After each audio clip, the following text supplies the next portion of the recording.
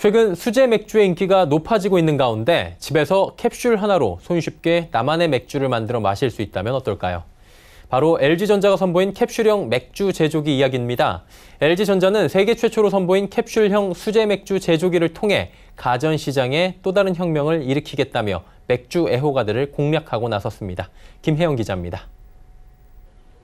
내가 원하는 맛의 캡슐을 넣고 물을 붓고 버튼을 누릅니다. 정수기에서 물이 나오듯 맥주가 콸콸 쏟아집니다.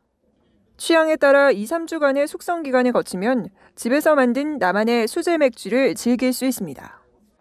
이는 LG전자가 내놓은 캡슐형 수제 맥주 제조기입니다. LG전자는 세계 최초로 캡슐형 수제 맥주 제조기 LG 홈브루를 출시하게 되었습니다.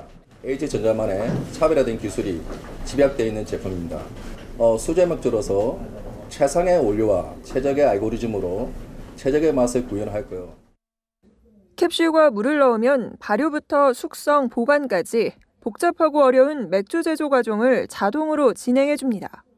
한 번에 최대 5리터에 달하는 맥주를 만들 수 있습니다. pale ale, 스타우트 등 총 5가지의 캡슐을 통해 수제 맥주를 맛볼 수 있습니다.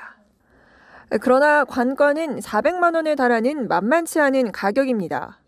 LG전자는 오늘 한국 출시를 필두로 미국 시장도 겨냥한다는 계획인데 소비자의 지갑을 열기에 충분한 매력을 품어낼 수 있을지 주목됩니다. 서울경제TV 김혜영입니다.